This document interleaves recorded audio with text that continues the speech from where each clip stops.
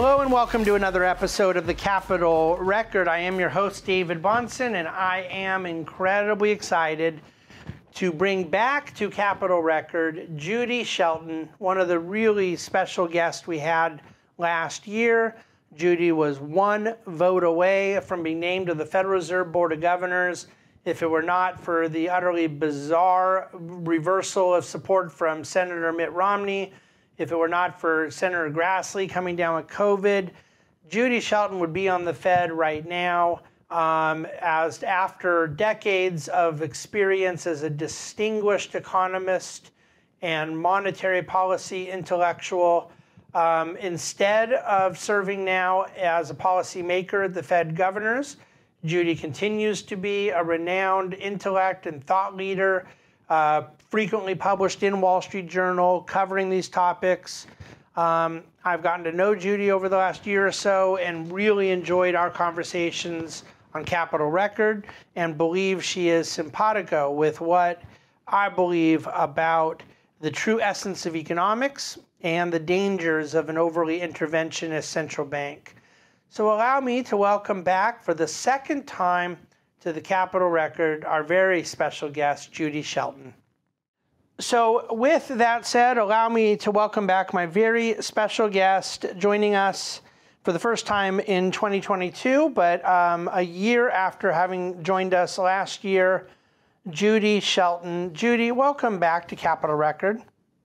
Great to be with you always, David. Thanks for inviting me. Well, Judy, a lot has happened since uh, we last had you on. It was one of my favorite episodes of our inaugural year of the podcast and one of our most downloaded episodes ever. I think a lot of people really appreciated what you had to say.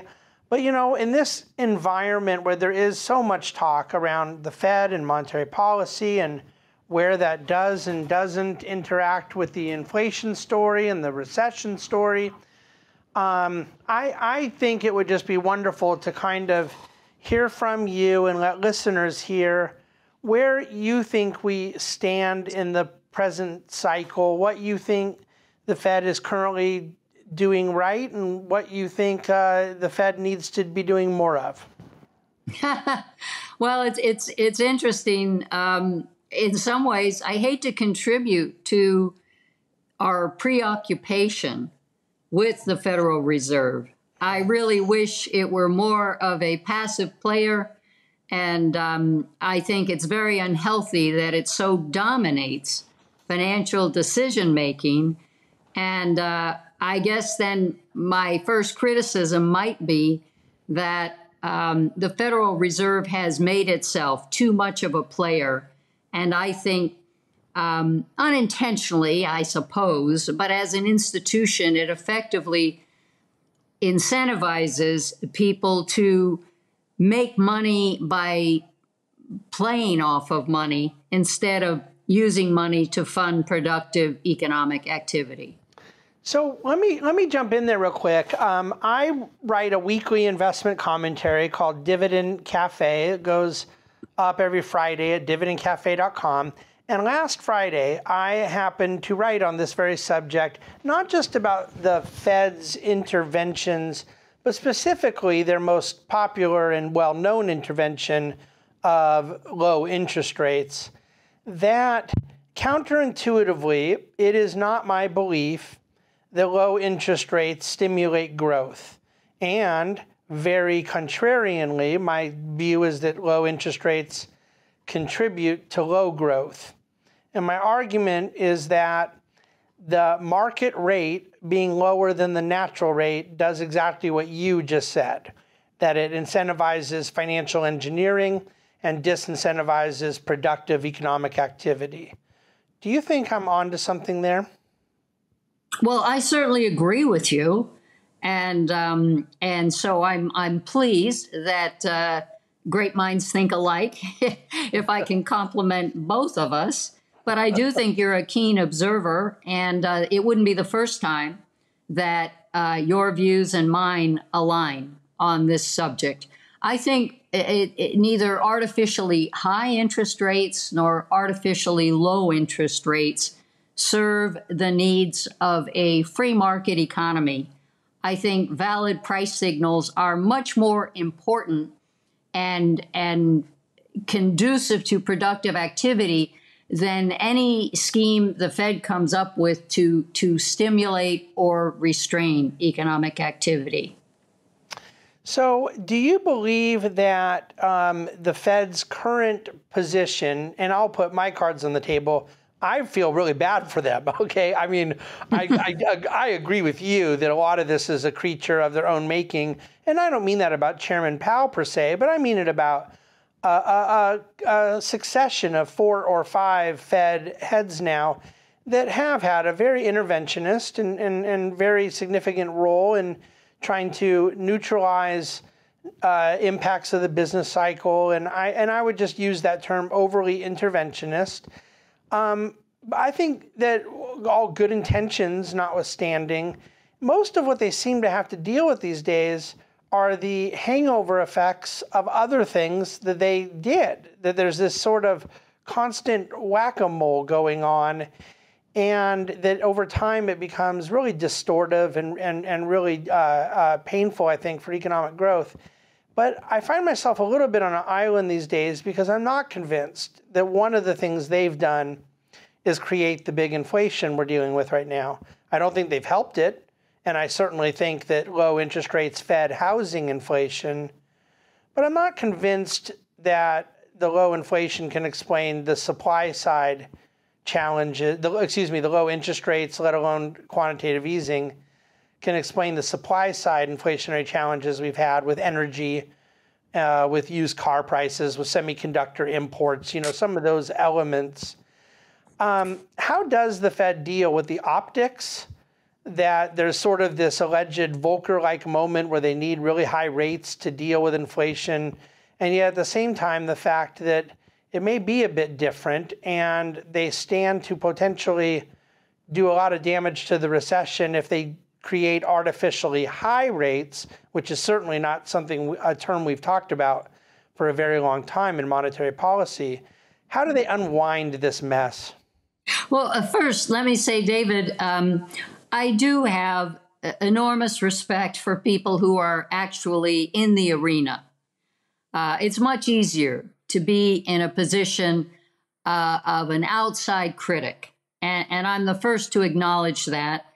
And um, so uh, I, I'm, I'm not faulting the motives in any way of anyone on the Board of Governors and, and not of uh, Chair Jerome Powell.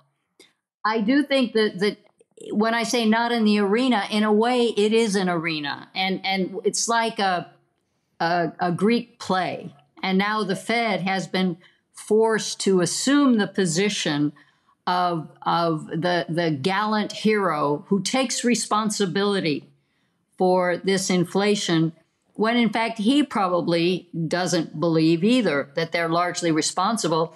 Uh, let's look at our, our poor Fed was trying so hard for years to push inflation up to 2% and they weren't able to do it.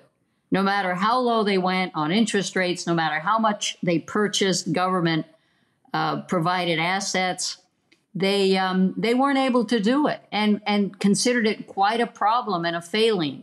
And yet now they think by doing the opposite of what they were doing, suddenly that will fight the inflation that they never were able to relate to earlier. So it's kind of an, an odd situation where they have to they have so often invoked their their dual mandate with this solemn proclamation that they are responsible congress hasn't charged them with the objective of stable prices and therefore they're going to uh, stand up there and fall on their sword by inflicting high interest rates because that turns out to be the only tool they have even if it kills demand and hurts the economy. I, I think this was uh, almost entirely triggered by the fiscal stimulus, by putting purchasing power in the hands of people who are not generating output. So, just by simple supply and demand, you were increasing prices. because you were providing that additional demand capability without at the same time increasing output and supply.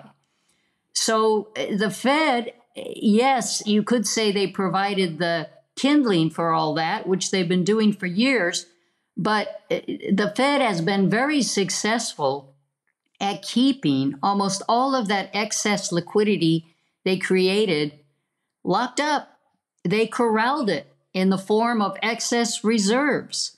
They continue to keep it out of the real economy by paying interest on excess reserves and by engaging in reverse repos so that that cash has effectively been prevented from serving as part of the money supply that could have a role in financial intermediation because the Fed entices banks and, and money market funds to keep it out of um, financing productive investment. They keep it locked up. So, you know, it seems odd to me that the Fed now thinks it has to kill supply because when you provide financial capital, you are potentially giving money to individuals and firms who would hire people who would produce more output, and that could address the supply side of this inflation conundrum. But no, and as much as they're killing demand, they're killing that off too. I think inflation um, may get better in spite of what the Fed's doing. And I suppose they will take credit and say that they did the right thing. Um, this is nothing like a Volcker situation. Uh, there's no such thing as even normalizing, given that the Fed now has this role in keeping, I think we're up to about 5.7 trillion by my count. Um, if you look at the the 3.3 in reserves and the 2.4 in overnight reverse repos, that's a lot of cash sitting doing nothing at the Fed, sitting idle, but nevertheless collecting a cool interest rate for on a risk-free government guaranteed investment via the Federal Reserve. Well, con- continuing with that thought, Judy, the the um, insight there that you make, I think, is very important. That the Fed essentially used quantitative easing as a stimulative tool and of course, this was not a Powell move after COVID. It was a Bernanke move after the financial crisis that stayed active for many years through many trillions of dollars and through three different rounds of quantitative easing. Um, also, largely in the same context of what you just described, where they were primarily successful in leaving it in excess reserves so that money did not end up circulating and adding to money supply at any inflationary level. The reverse repos were probably less of a factor then, but either way, um, it was similar. And then they began quantitative tightening, as we all know, in 2017 and into 2018, really without much disruption until it became accompanied by interest rate hikes. And the pace of the tightening picked up um, around this time, your name was starting to circulate much more heavily as a very legitimate uh, nominee potential onto the board of governors of the Fed. And then famously, uh, Chairman Powell and the Fed reversed course in late 18 and early 19 when credit markets sort of uh, revolted. And at some point, their tightening activities got rejected in markets and they went another direction. And then, of course, we know the COVID story a year later. The reason I bring that history up, Judy, is I wonder if you're surprised that so far the quantitative tightening at 47.5 billion per month has really been largely ignored by markets. The interest, the yields in the bond market are actually down quite significantly since they started, which marks the fourth time that a quantitative easing round ended and yields went down instead of up, perhaps counterintuitively for some. Um, do you think that when they double the level next month to the close to 100 billion, that that will create more of those 2018 conditions where credit markets tighten? What is your expectation as the Fed adds this quantitative tightening um, element to their interest rate hikes? Well, as I uh, wrote for the Wall Street Journal back in December, I would much prefer that the Fed do reduce its portfolio as a way of reducing um, its footprint and as to me a more effective way of engaging with markets to increase interest rates if that's the goal. Um, that's much healthier than simply raising the rate that they pay off uh, banks and uh, money market funds to keep the cash idle. So I want to see them go old school on that and not just use runoff, but actually sell back securities. There are a number of studies uh, on the Federal Reserve's website explaining how this could all work and how they account for the bookkeeping of it through the SOMA, through the um, um, the Fed system open market accounting approaches, which are not the same as generally accepted accounting practices in terms of recognizing market gains and losses. But nevertheless, I think that's a much better way for the Fed to go. Um, I was can happy. I, can I interrupt they, there, Judy? Is the reason just simply that it accelerates the pace? It's both. I think that we don't know how much it would accelerate. It's certainly easier for the Fed to use administered rates, but it was easier for, to me, that's a, a Soviet type approach to banking. And uh, I think it's healthier in that markets would then be engaging with genuine increased supply of bonds. And for all we know, uh, it could it could be more measured because uh, to the extent that the United States is, is a safe haven, we sometimes see additional purchasing of Treasury bonds. Maybe that would by foreign purchasers that could offset the fact that the Fed is increasing the supply. So we don't know exactly what the interest rate effect would be, but I think at least you are in, engaging with market supply and demand versus trying to move the interest rate by diktat, which is what the Fed does now by relying primarily on those two administered rates on excess reserves and on reverse repurchase agreements.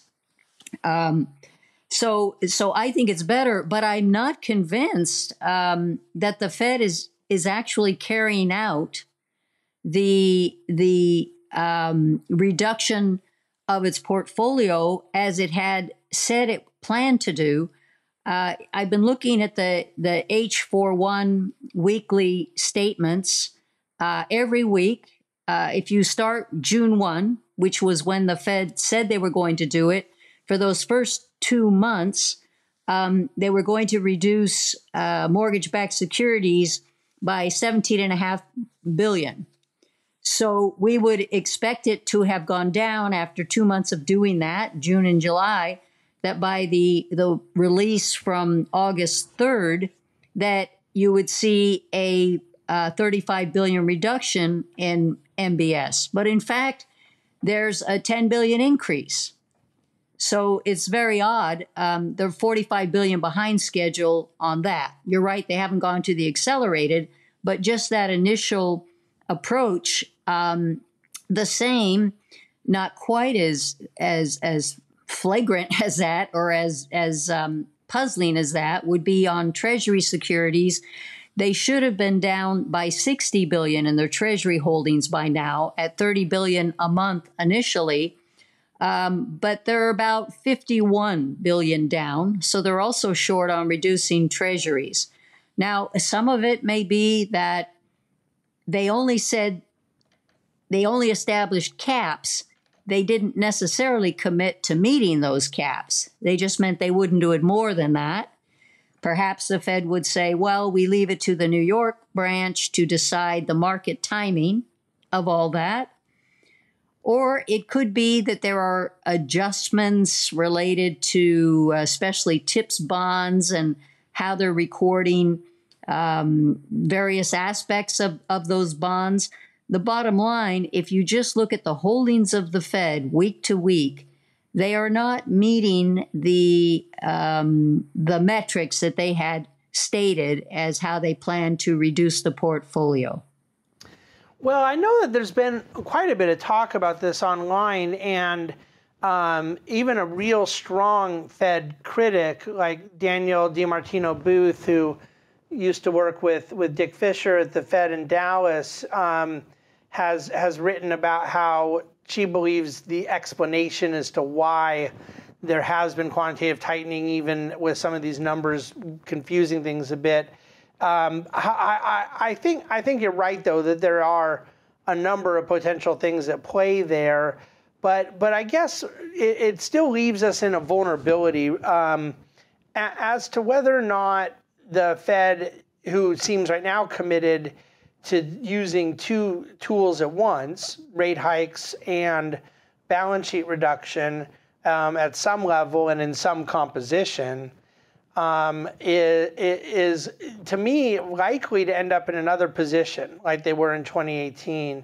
And perhaps that's one of the advantages of accelerating the rate hikes the last couple 75 bips and and and wherever they get to a three handle on the Fed funds rate that it will give them cover if the Fed tightening starts to um, damage credit markets, that they can pause on the rate hikes and still allow balance sheet reduction.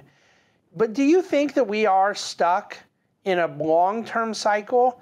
The quantitative easing will be a pretty immediate button to hit at any time of economic distress, and the quantitative tightening then will have to be um, the kind of response to those periods, rinse and repeat? Are we in a back and forth of easing and tightening with the Fed's balance sheet?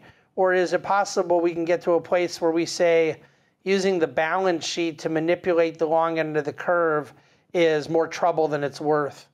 Well, if you read Bernanke's latest book, it's clear that he considers quantitative easing a very effective tool and instead of being an emergency after 2008, that now it's it's conventional.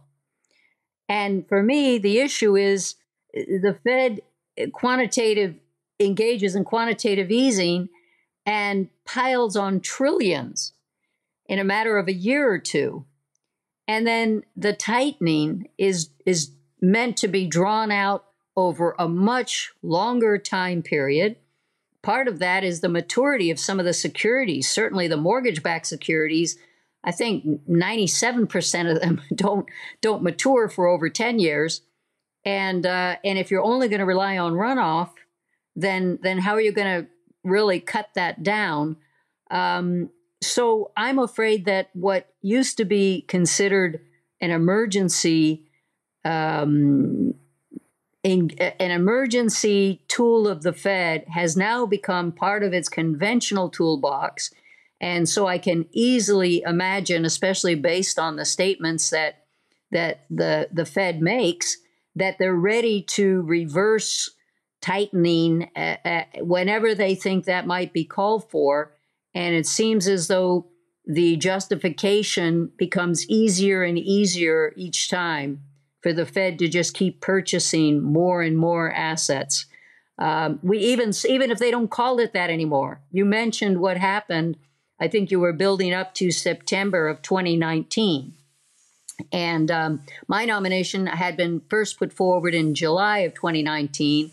But I think we all remember that by um, September, uh, the Fed s- suddenly saw a spike in the Fed funds rate of over 10%, and then started uh, for, as it said, purely technical reasons, going back and purchasing um, Treasury securities and MBS. But they didn't call it quantitative easing. They said it wasn't for monetary policy purposes. It was to relieve this sudden liquidity pressure. Well, I guess um, I, I, guess that at that time they they got away with it, right? I mean, they, they the market seemed to accept the explanation, and even um, in the last several months of the ongoing quantitative easing in the COVID round that was continuing to go in late 21 and early 22, they were doing heavy amounts of reverse repos that were offsetting. And I suspect that, that they can do this with Main Street all they want because I don't think anyone has any idea what, what it means or what they're talking about. Um, but do you think that it that financial markets would continue to accept that, or at some point do you think that uh, the conventional use of the tool would become problematic? Well, I think the markets will always eat it up and like it. Unfortunately, um, I mean, I agree with you, and I talked to some great entrepreneurs who say I never made a decision to invest based on the interest rate. I made a decision to invest because I saw a great opportunity and the margins and potential for profit so overwhelmed um, the cost of borrowing funds, which was part of the calculation, but not the one that determined it. So um, I don't think there are enough people out there in the market who would say, yes, it's healthier to to have an interest rate that really reflects demand and supply of loanable capital, even though you said, and I agree with you, um, that you don't think low interest rates are necessarily good for growth or productive economic activity. I don't either. But I think markets love it because uh, markets like to uh, engage with the Fed, engage with all the financial instruments that are basically speculating about future interest rates or about differentials between um, other major central banks around the world and our own and their impact on derivatives and on currencies and all the other opportunities to make money by playing with money instead of using money to fund productive activity. And and that seems very intuitive that financial actors would like the opportunity to use engineering to make free money, right? Uh, X, if you borrow at X to invest in something yielding more than X, then tautologically that that's free money. But Japan it, may not use the term quantitative easing, and Europe ECB may not use it. But bond buying is bond buying, and bond buying with money that doesn't exist by a central bank is quantitative easing by any other name. And it doesn't seem that financial markets have eaten it up in Japan or Europe. Their equities, their real estate, their risk asset markets, their credit markets haven't been particularly exciting for quite some time. Is there not a diminishing return that we would face as well?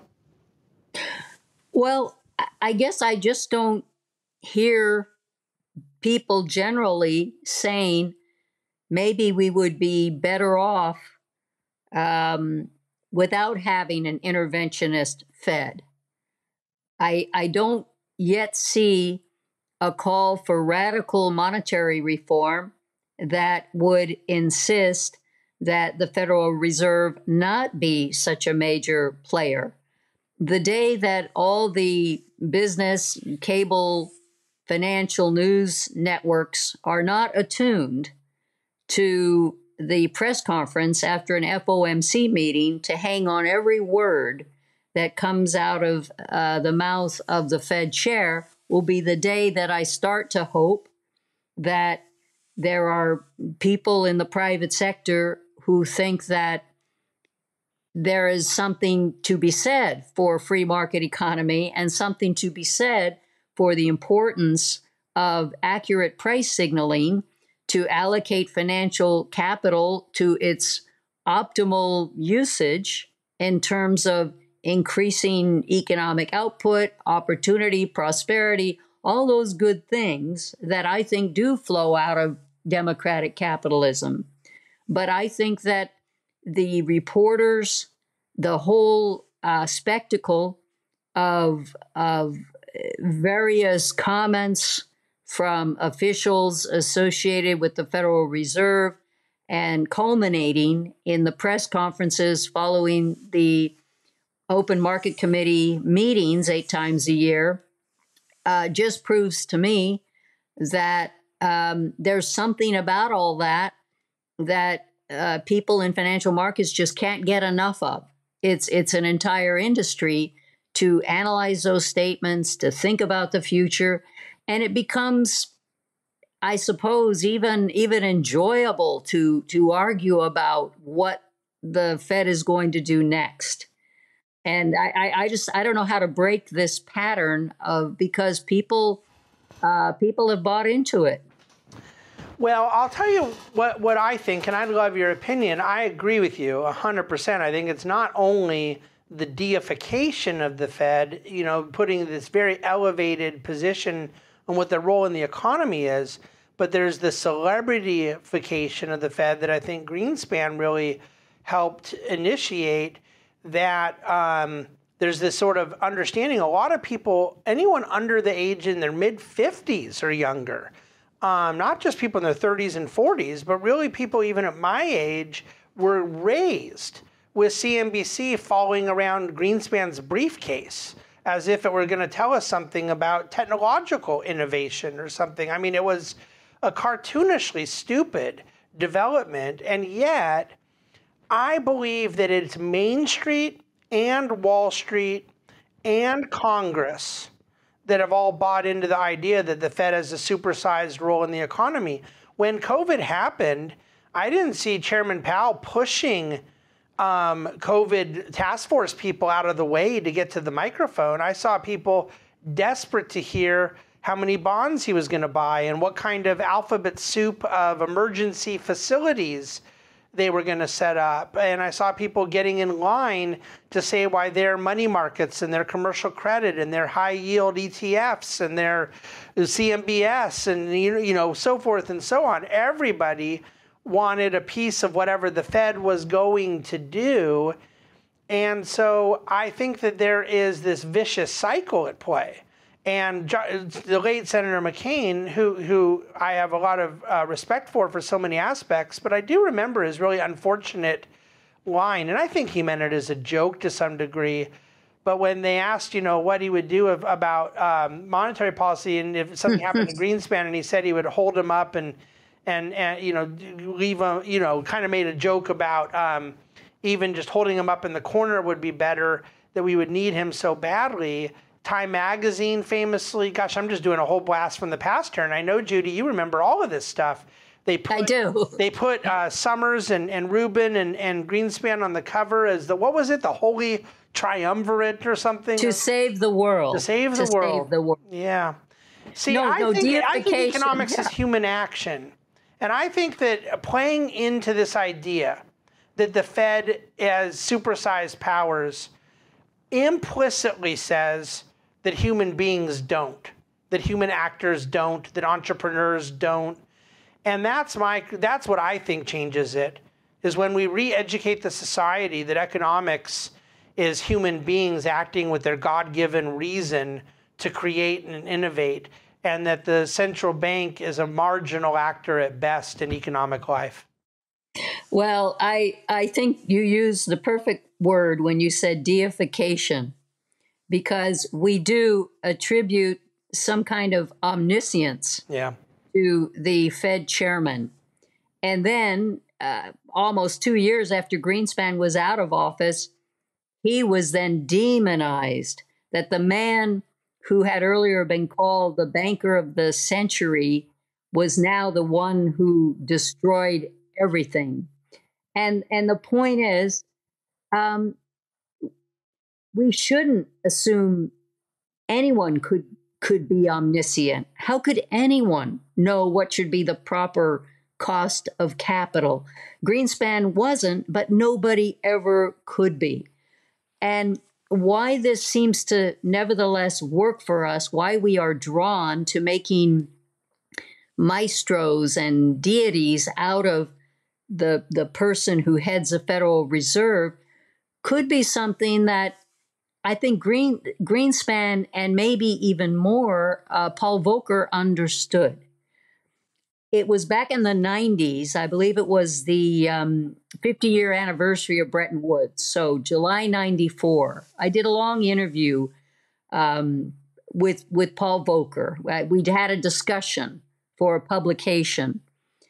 And at the end of it, we were talking, and he said, "You know, I'm I'm paraphrasing. I adore Paul Volcker, great, great guy, but he said." People think that those of us um, on the Fed board have some kind of secret plan that if everything goes to hell, we somehow know what it will take to put us back on course. And he said, here's what they don't know. We don't have anything. We don't, we don't know. We're reading the same things. We have more data and we're pretty smart and we're working hard at this all the time. But we, we don't know either. And he said, so in truth, if people knew the truth, we'd really be in trouble. But he said, but the, the fact that they wrongly believe we have a plan that we can take off the shelf and put into effect, and we know it will work, ironically, that is what saves the system. It's that belief. He once uh, told someone who had just been made the head of the Bank of England, who approached him for the first time and said, In a word, what is your secret? What makes a successful central banker? He said, in a word, mystique. So there, there has to be this belief by humans that someone can throw the kitchen sink at everything, that they can deploy the airbags, as Powell did on March 15, three days even before the scheduled FOMC meeting, that he suddenly convened the FOMC and and give said give me everything we've ever considered since 2008 and let's do it all and more. I um I agree with you profoundly that human nature no matter how much it appears to resist or resent this idea of omniscient actors pulling the levers of humanity, human nature sometimes seems to desperately want such a, a, a fantasy. And it's uh, my time as managing director at Morgan Stanley during the financial crisis deeply impacted how I view these things because it took me about 30 seconds to figure out that nobody had any idea what the hell was going on. and that the people it, sometimes in the midst of a very anti Wall Street sentiment. Um, there was even at times, you know, a lot of conspiratorialism around it. But there was something soothing to people that, that believed that Goldman Sachs had this sinister master plan.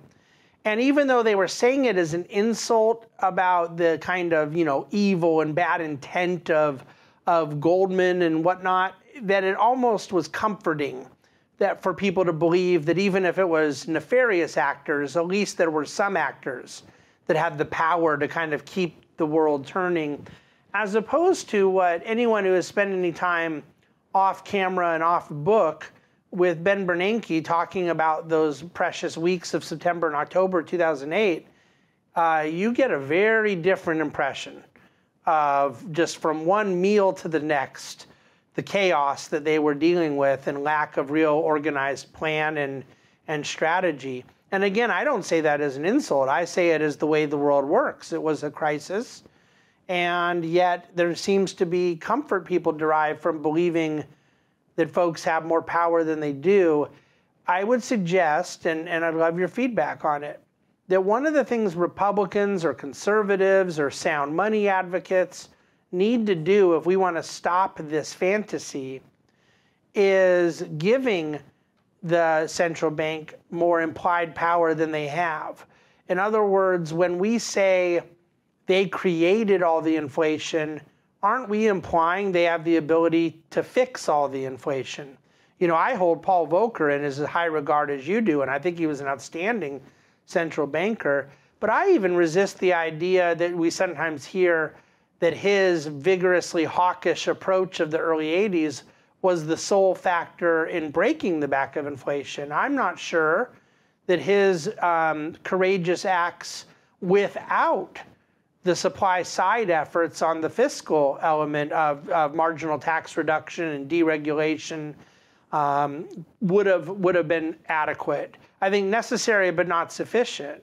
And so I just wonder if maybe we're all a little guilty of giving them more power than they deserve. And the, and, and the great illustration of what I'm saying is Japan. The Bank of Japan doesn't even have to pretend that they're independent of Congress, right? They can actually literally act as a two headed monster in central banking and in politicking. And yet they have been totally unable to deal with their inflation or deflation problem. They've been pushing on a string for, for decades. Um, I just wonder if the deification happens for those that are implicitly complimenting and those criticizing. Um, I, David, I think you are on to um, an extremely important point. This, this is this is critical. First, as far as what Volcker did, um, I mean, a third of the economy was almost sacrificed. I mean, it, it, it was terrible. Hmm. The um, the the outcome of of what Volcker did was devastating to many many people. It, it, he really had to destroy part of the economy to tame inflation, as they say. So I, I sometimes just cringe when I hear people saying, "Well, the Fed has to have a Volcker moment and and and do as much damage as necessary in order to bring down demand. Um, you know, I think that's so unfortunate. For me, it's the it's the egocentric predicament for people uh, on the Fed Board of Governors or part of the uh, Federal Open Market Committee, in that they think it's only about monetary policy, and that is why, it, to me, when the Fed thought it was so important to re examine the framework and came out with terrible timing with their new framework about waiting longer um, and asymmetrically tolerating higher inflation for the sake of, of higher employment.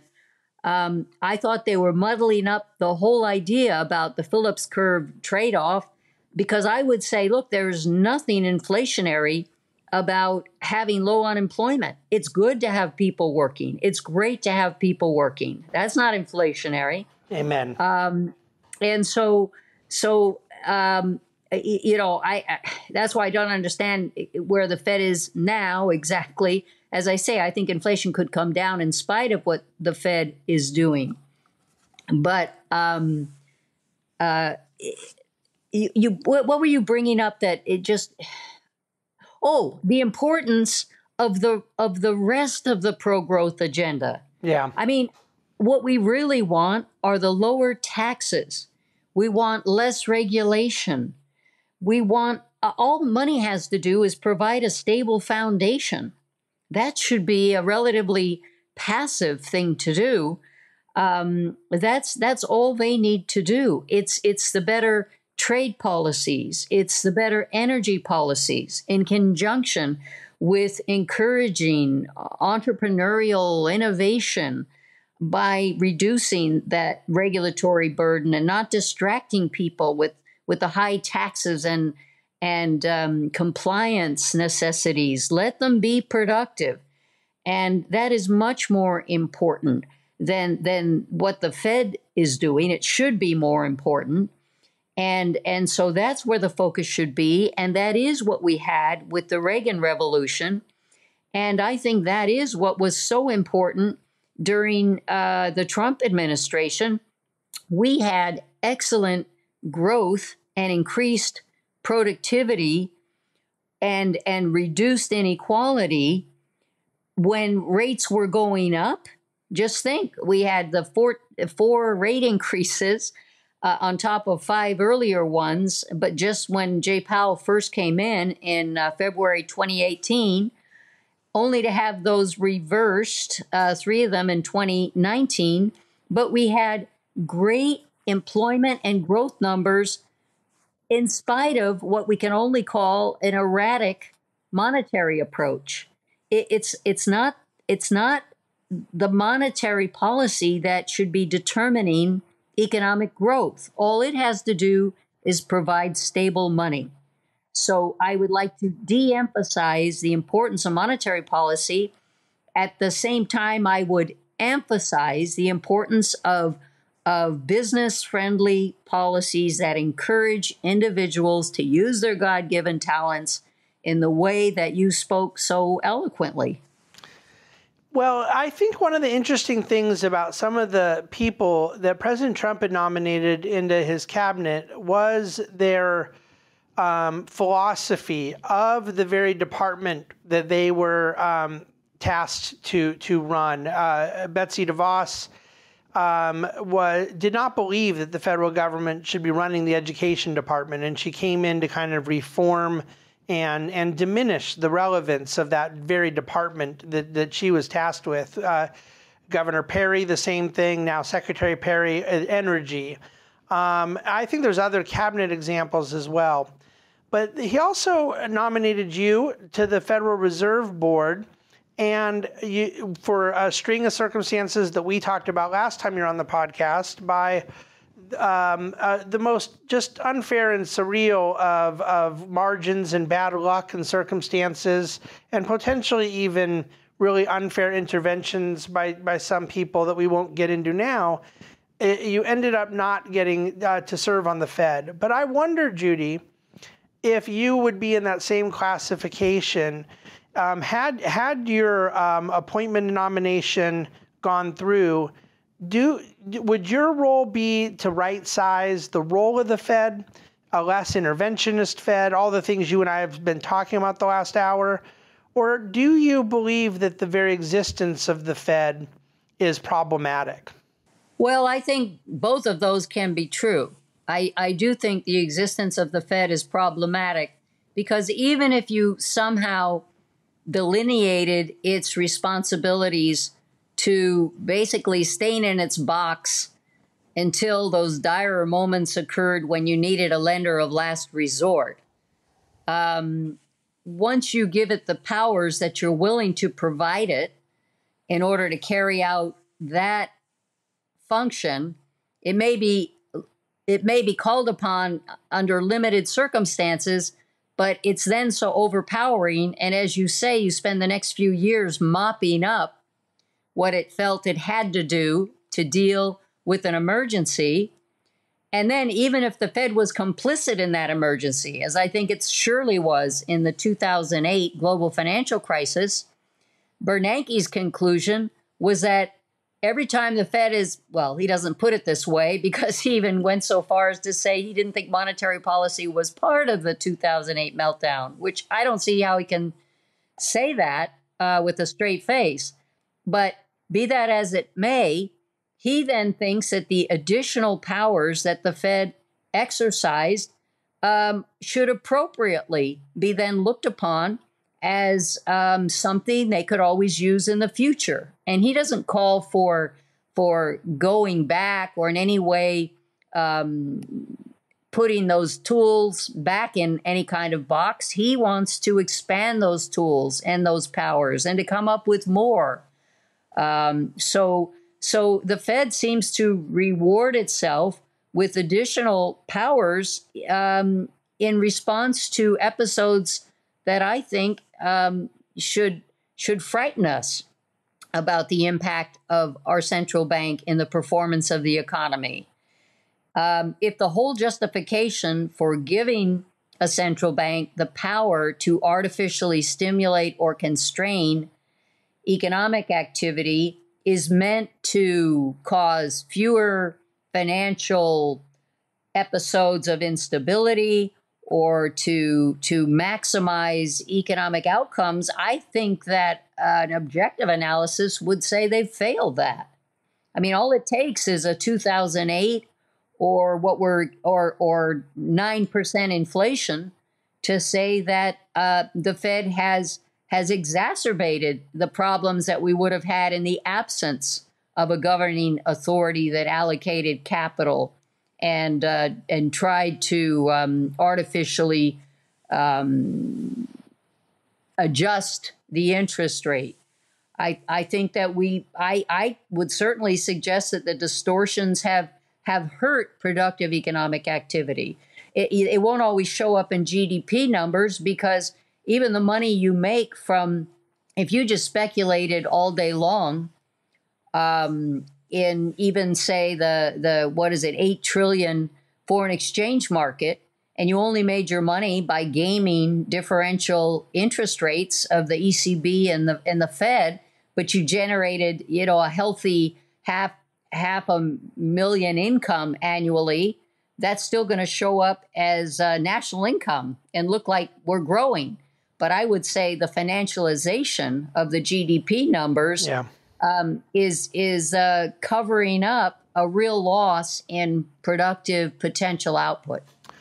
Well, that I, I agree entirely. I, I wish that we had you and, and people like you at the Fed to make the same case. My, by the way, that issue about the existence of the Fed, one of one of my problems is that as the fever pitch of anti-Fedism picked up, the Fed's powers and role in society picked up inversely.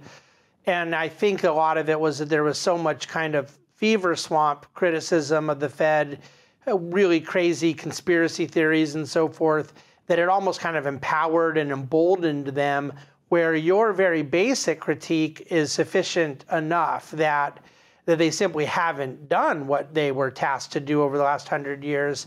I, I tell people all the time that um, I'm not a Rothbardian about this. I, I, in theory, and those two words are really important, in theory, believe in the role of a central bank to serve as a lender of last resort. But you know, that lender of last resort and Bagehot's famous exhortation about lending at very high rates with very good collateral. Um, that came 60 years, uh, well, I mean, it was 100 years from when he said it, but uh, from the time we instituted a Fed to the time of the dual mandate, um, decades had gone by. And then from the time of the dual mandate to the time of the financial crisis and COVID and all the alphabet soup of QE and and TALF and TAR, you know, all the things that, would, that have happened, another 40, 50 years went by. I want to separate my criticism of what the Fed has done from the theory of a lender of last resort. I, I, I think the notion of lending at high rates with very good collateral could be very important and useful, but be that as it may, it isn't what we have now. We have a probably three or four mandate Fed in practicality these days. And, and it has done exactly what you've said about financialization.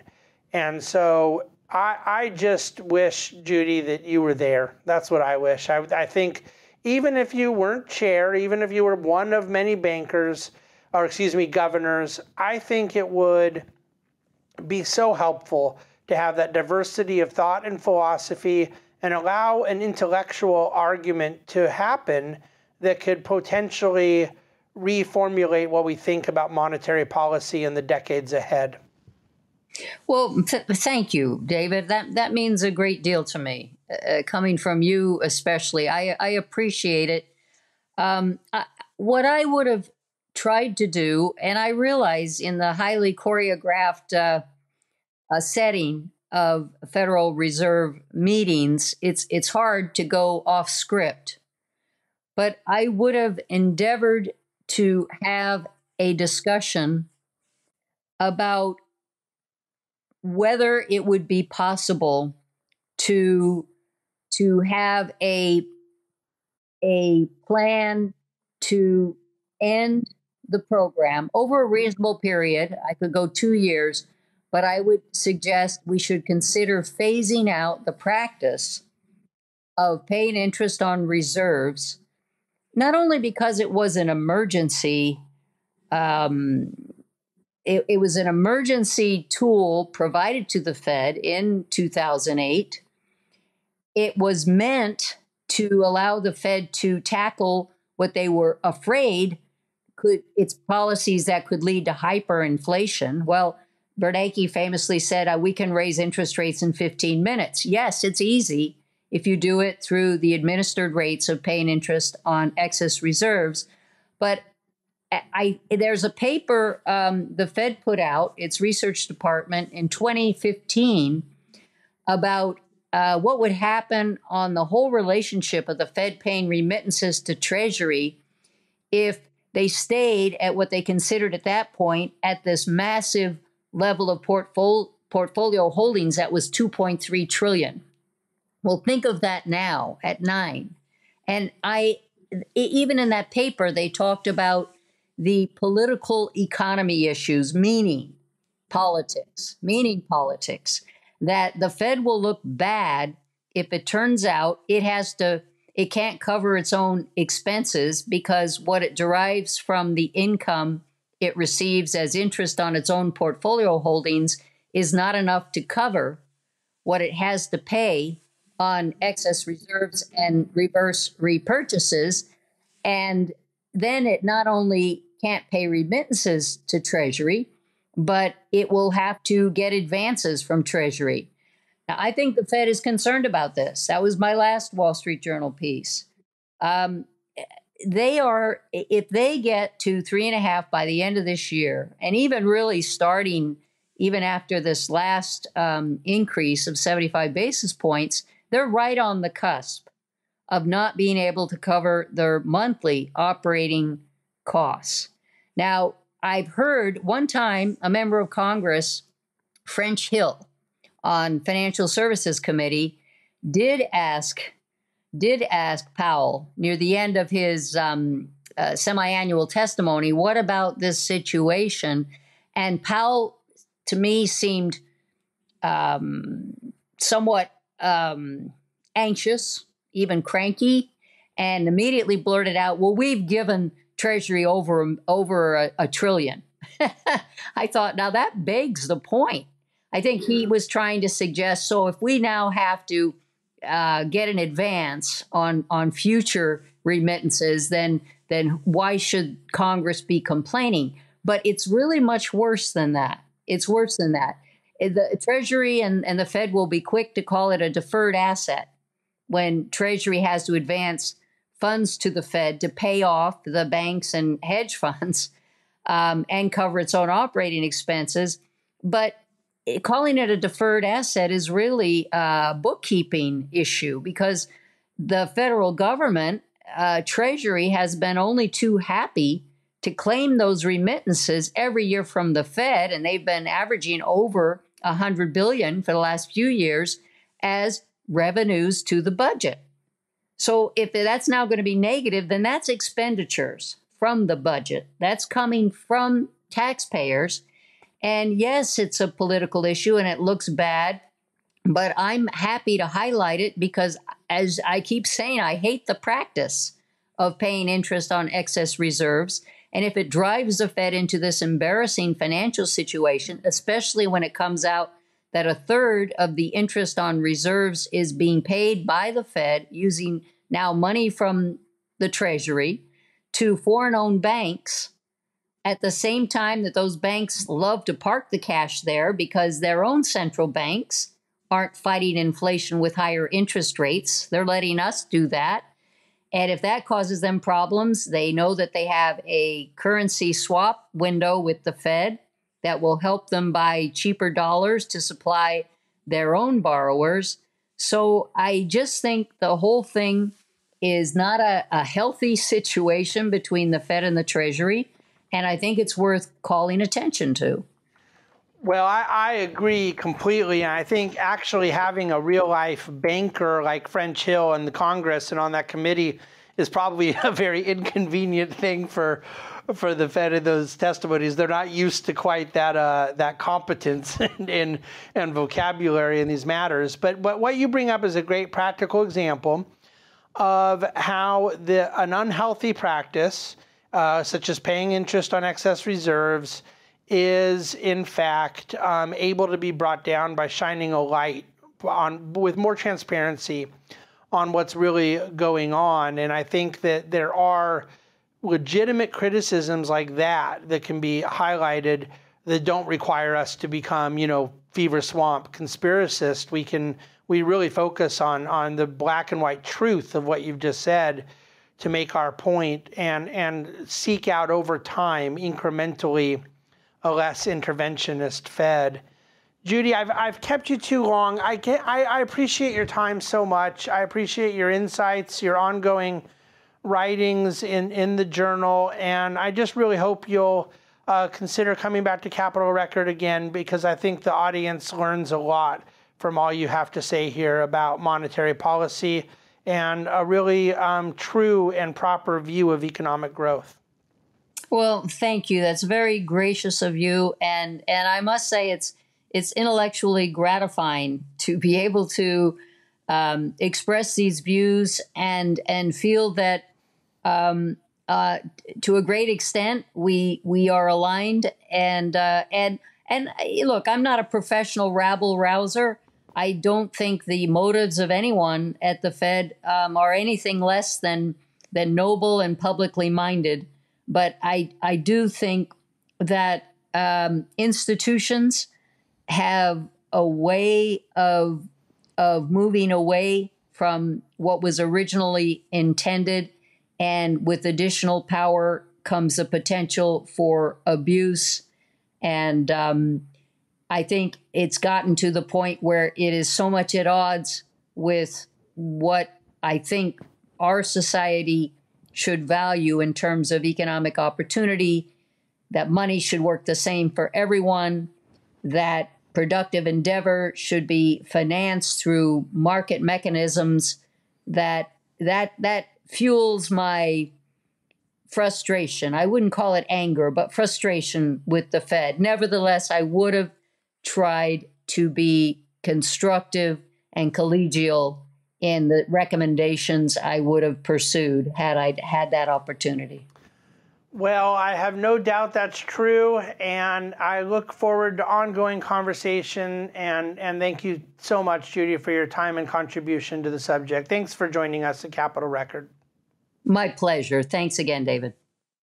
Okay, I'm proud of myself because I was going to keep Judy for another four hours, and I was able to cut it off after uh, uh, an hour or so. I am telling you that Judy has so much to offer on this subject. There are so many profound insights, cogent, clear, articulate expression, philosophically grounded, um, and really important to the cause of a free society that believes overly interventionist central banking is doing more damage than good, impeding the cause of economic growth, impeding free exchange and, and, and practice in a market economy.